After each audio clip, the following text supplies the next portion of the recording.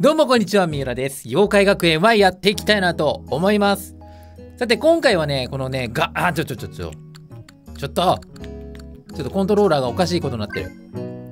えっ、と、ガシャコインがゲットできるクエストがあるんですよ。なんで、ちょっと、ガシャコインをゲットして、で、多分ね、今ガシャコイン結構10枚ぐらい溜まってんじゃないかなと思ってるんで、動画の最後の方でね、ちょっとガシャを回していきたいなと思います。ということで、まずやってみるか。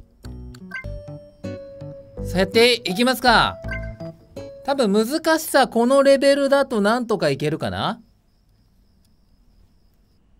あ、多分いけるね、これは。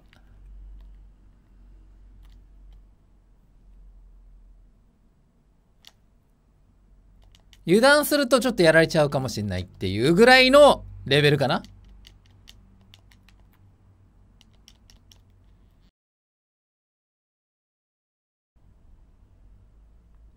あ、終わったボスも出てこねえや。めっちゃ余裕だった。さあ、こんだけ頑張って、でもガシャコン1枚しか手に入んない。あ、ガシャコイン14枚あるね。結構あるな。めちゃめちゃ回せんじゃん。さあ、それではこれやっていこうかな。降り注ぐ青の衝撃。うわ、これはね、多分、油断すると全然やられちゃう感じかな。ガシャコインが1枚手に入る。あ、これ多分ね、もしかしたら本当にクリアできないかもしれない。これか。ちょっと今あの、戦闘の BGM 重きし あの、著作権にかかるやつがかかってるから、ちょっと、編集の段階で、編集の段階で無音にしますね。あのね、ABEX とかが多分著作権持ってるやつ。おー、やった普通に倒せた。さあ、それじゃあ、ちょっとガシャ回していこうか。装備よろずメダル素材あるけど、ちょっと全部見ていこうか。何が出てくるんだろう。えー、本日のピックアップ、勝利のバレーボール、ワイルドなボストンバッグ、馬面ヘッド。なかなかそそるやつがないな。えー、よろずガシャが、えー、びっくり仰天ハリセン。これ武器だね。野球人のバット。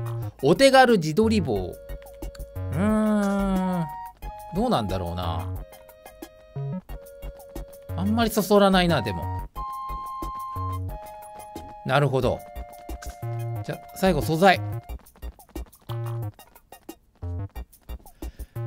うーん。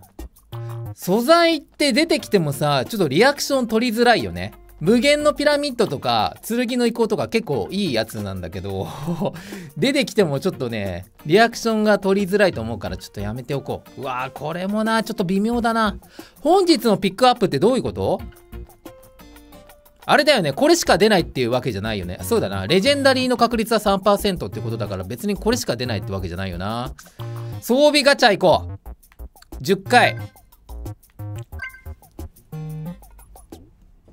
レジ、おーあー、しかし、これカプセルの色がレジェンダリー、あー、レジェンダリーじゃなくて、その、レアリティを表しているんだね。最高ランクのレジェンダリーは金なんで、出てきてないな。なるほど、こういう感じか。なるほどね。おあ回すごとに確率上がっていくんだ。なるほど。これいいな。なんかあれだね。回すごとに確率上がっていって、多分レジェンダリーが1回出たら、また元の確率に戻るみたいな。なんか確率機みたいだね。お、レジェンダリーの確率どんどん上がっていく。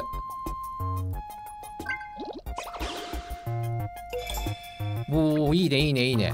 じゃあこれ回すごとにめっちゃ楽しいな。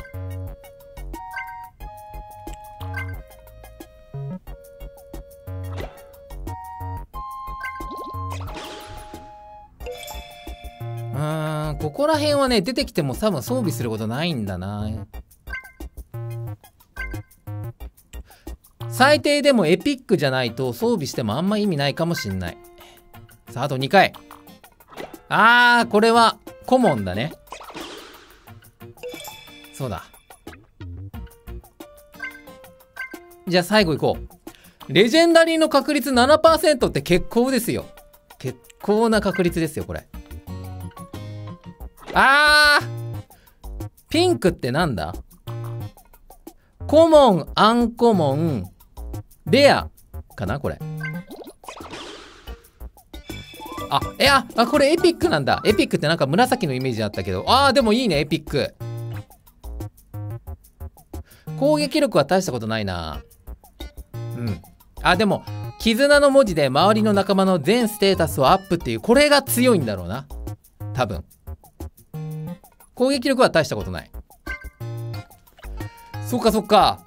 わあ、これちょっとね、ガシャコインたくさん貯めたいよね。ガシャコインか。なんかガシャコインが貯まるクエストとかないかなでも多分ガシャコインがゲットできるクエストがあったとしても、SD チケットが必要だったりして、で、SD チケット今俺1個も持ってないから、多分もう結局できないみたいな。あー、ないね。全然ないね。これガシャコイン。おいおいおいおいおい。おーい。あ、あるな、あるな。あ、やっぱ SD チケットが必要なんだね。ガシャコイン。なるほど。